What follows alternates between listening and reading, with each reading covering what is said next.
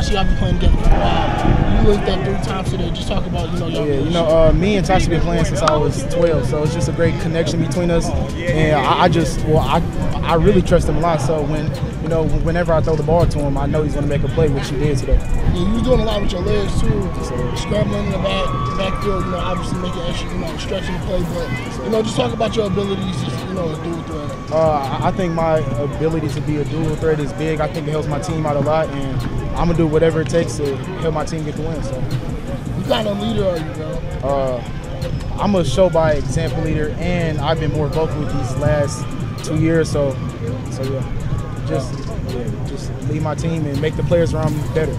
What's the goal? What's the what's the end, end season goal this year? Uh, you know, of course, to go 14-0 and win the state championship. Just take it by each week at a time.